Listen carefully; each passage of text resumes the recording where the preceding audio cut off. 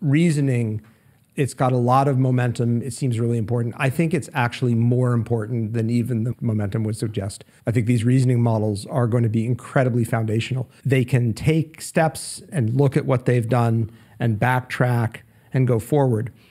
Now, and maybe this is me with my researcher hat on, I think where that gets incredibly powerful is when you start to have formal structures that you can reason Yes. over and make correctness guarantees.